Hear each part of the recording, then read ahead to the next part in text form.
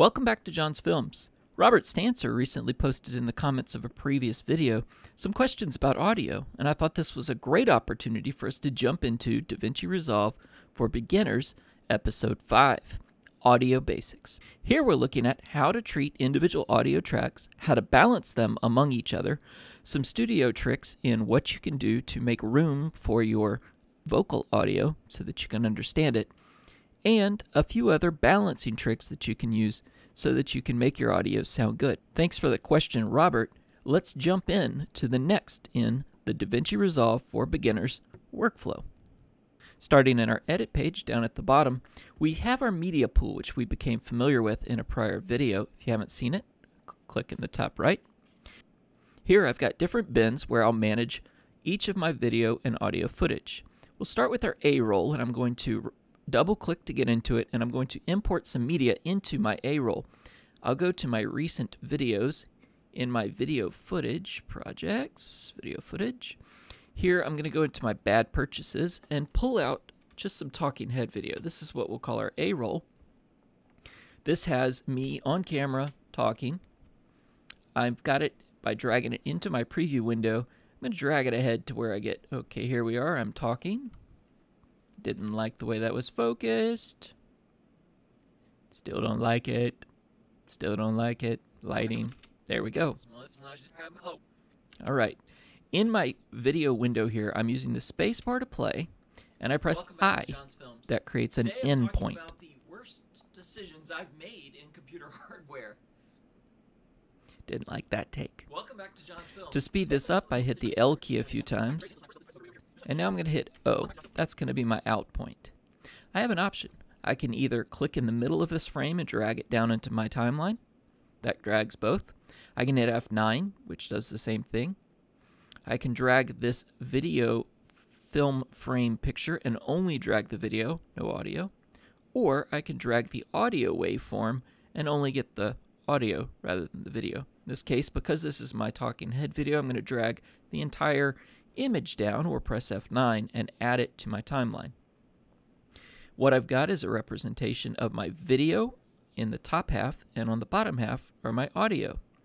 I'll add tracks as I want to layer on effects up here, and as I want to layer on more audio tracks down here.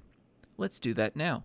I'm going to come back out and go to a background sound. Here, let's say we're being a little funky. I'm going to import some media I'm going to go way back into the archives, bulk storage, published videos. Let's go camping. Here we've got some GoPro footage. This looks like me on a kayak, fishing. Okay, let's grab one of these. Mm -hmm. Not that one. That's us talking about Lightwine's fish there. Here we go. Nice water sounds. So I'll hit I again. Got some good birds in here. Nothing like an old-fashioned tangle. The fly rod. There we go. Okay. So I pulled some of those bird sounds out. I'm going to layer them down. I could either, notice what I just did, I dragged the entire clip. Whoops, because what did it do? It obscured my talking head. We're not going to do that. What we're going to do is grab this waveform image, and now when I drag it down, I only get the audio. Perfect. Finally, I'd like to put some music behind this. To do that, I can go back to my YouTube studio. And YouTube is fantastic in this. They give you the ability to, in your studio, access an audio library. This audio library gives you free music that you can use in your videos. Some has attribution required. That means you need to put the details of where you got it and who created it in your YouTube comments. Or some of this that is attribution not required. And now we've got a little bit of music we can use. Let's find something. All right, so we'll download this by clicking on the right side here. It goes into my downloads folder. And from here, I'm going to cheat in this case. Normally I'd download it somewhere meaningful. I'm going to cheat. I'm just going to drop this into the music bin that I've got created under my master. To add this to my timeline, I'm just going to drag it straight down. I know it's a complete track, complete audio. I don't need to cut it up in my preview window. Now I can immediately see a problem. The problem is the music is much, much louder than my A roll, my sound effects. You can't even you can't even tell I'm talking in there. So we need to balance the audio. When you first start video editing, you think, well, here's what we'll do. I am going to find gaps in my audio. I can see one right there where I'm not talking. I'm going to make it loud there. I'll make it quiet while I'm talking. And there's even an automatic way to do this uh, in a more advanced tutorial I showed you in Fairlight. But that's not what we really want. That really distracts the, the viewer as they're listening to you talk, and all of a sudden, bam, they're hit with some audio, and then poof, it pulls back, and then it's back. That's really annoying. So, what we need to do is first get things in the ballpark. I can do that here. Notice I drag this little white bar and I pull up the audio volume for each of these tracks or clips individually. That's at a clip level. I can do it in the properties window of the inspector on the top right. Make sure audio is selected. And I can pull the volume of that clip up and down. That affects only this clip. If I had multiple clips on this same track, it would only do the clip. Alternatively, if I hit Mixer in the top right, I now have the ability to control each individual track as a whole, and I can pull the volume up and down on that track. That's what I'm going to do for my music to balance it out. What I don't like about that is I don't get a great visual representation of how loud it is unless I'm playing it, and then I can see which tracks are balanced and where they land. Again, that was miserable, and you'll notice as I was saying, I can see how they're balanced. You really couldn't understand what I was saying because of the mix. So I'm going to pull that back up for the moment, and I'm going to adjust the overall clip way down. Decisions I've made in computer hardware. Okay, so we can hear my voice a little bit better, but what you'll find is it still competes, especially when we start to add more films. Today I'm talking about birds in the background.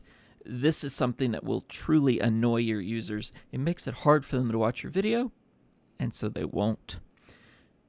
All right, so I'm going to balance this out even more, but volume isn't our only trick.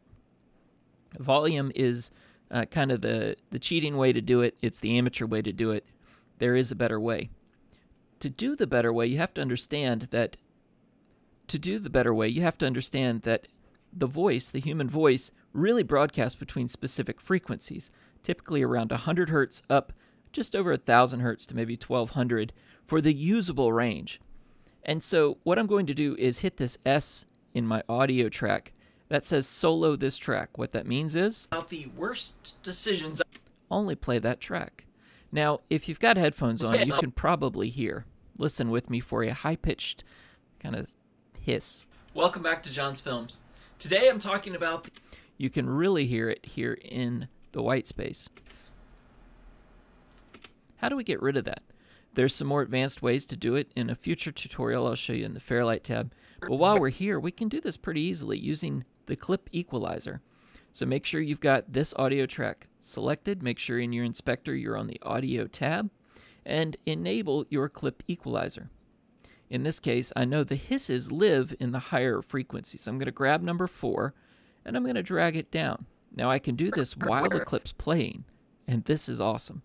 So I play. Welcome back to John's Films. Today I'm looking at some of the worst decisions I've made in computer hardware, and I've made some bad ones. In fact, a great example is when I and I drag down until I don't hear it in my headphones anymore. If you couldn't hear it while I was playing, headphones are your friend here. You get to control the volume, you isolate the sounds, and typically they reproduce much better. This is where, unfortunately, more expensive, nicer headphones will do you more favors. All right, so I've taken that hiss out of the top. I've still got some fan noise. I'm going to rip out by pulling on number one here, pulling it up to where about the 100 hertz range. Remember, that's where my voice starts. Welcome back to John's Films. Today I'm looking at some of the work. Immediately, we've got a much better sound, and I have I haven't even treated the vocals yet. Um, that's again a future tutorial, but this is the quick way. I'm going to turn off the clip equalizer so you can hear what this voice sounds like. Worst decisions I've made in computer hardware, and I've made some bad ones. In fact, a great example is. You could probably hear the difference there even on regular speakers, and that's what your users, your viewers, are going to hear. Much better already. But there's more we can do. I'm going to take the solo off that track, and I'm going to mute the track.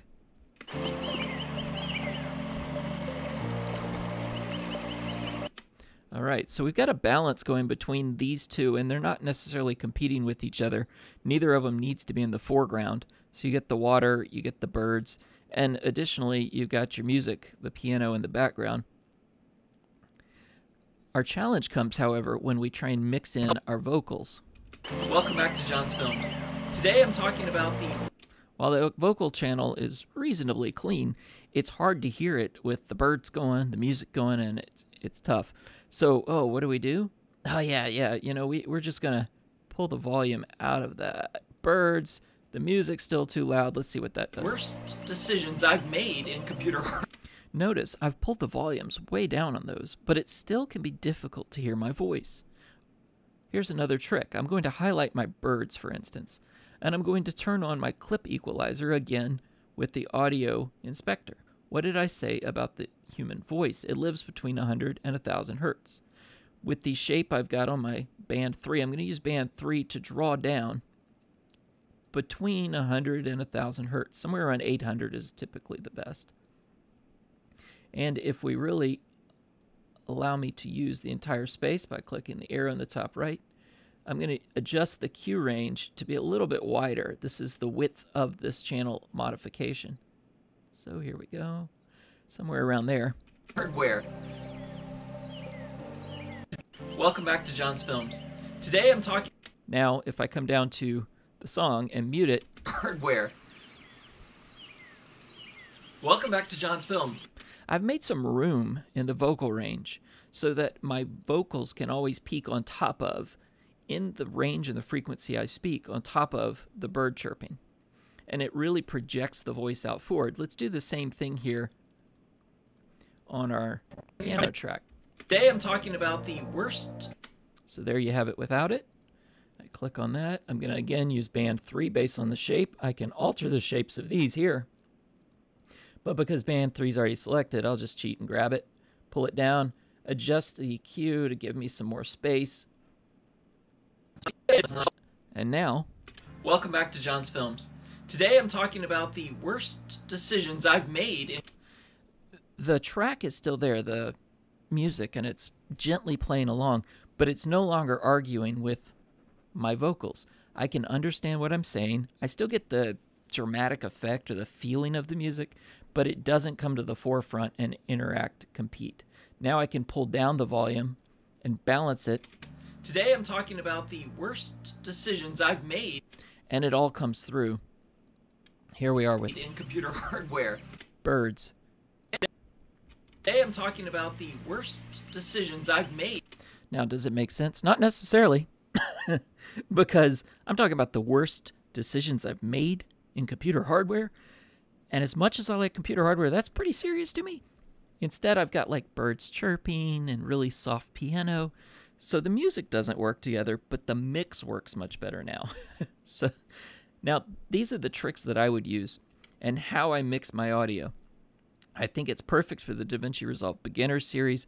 Pass it on to a friend that's got, you know, just starting out in Resolve as well.